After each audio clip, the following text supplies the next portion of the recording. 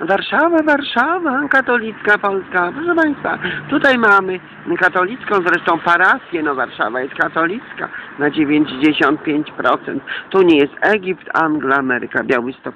Tutaj mm, baciuszki nie ma, ani prawosławnej cerkwi. Strzelista wysoka. Oni wysoko do nieba, bo to wiecie Państwo, nawet i ta Warszawa jest autorytarna właśnie. No autorytarny to był przede wszystkim Rzym, Neron, który spalił Rzym i oskarżył, podpalił Rzym, oskarżył chrześcijan, którzy przecież i tak byli neutralni.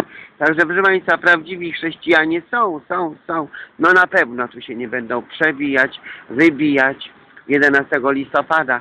A to chrześcijaństwo, czy ten katolicyzm, o którym my mówimy, że tego jest tu w Polsce, a bezpośrednio pod Bałtykiem, nie pod Morzem Śródziemnym, pod Bałtykiem, bo tu nie jest Egipt, Anglia, Ameryka, Białystok, jest aż no 95% wszystkiego.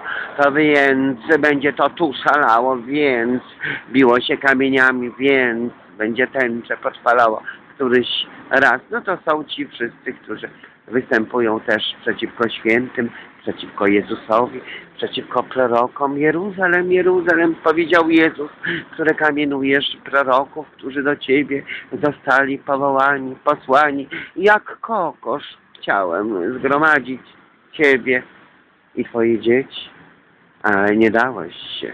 Jeruzalem, Jeruzalem, czyli typ autorytarny, faryzeusze, saduceusze, którzy no ręce to bardzo wysoko do góry składają, modlą się. No przecież wiadomo, że na pokaz.